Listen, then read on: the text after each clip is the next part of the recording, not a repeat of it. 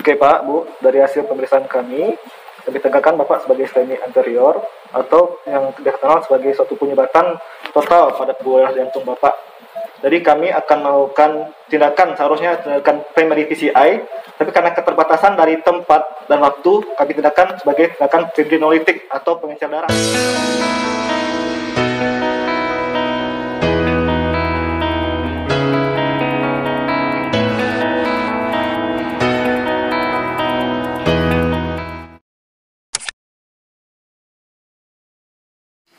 Bapak setuju?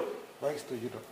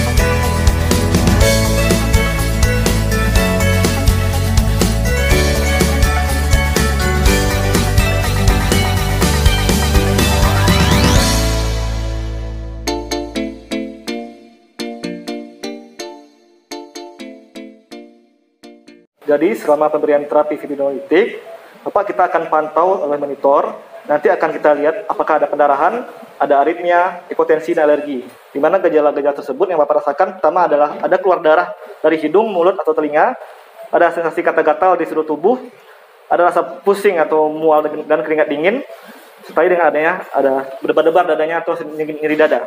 Jadi selama 5 menit kita akan catat di dalam catatan kontrol intensif kita.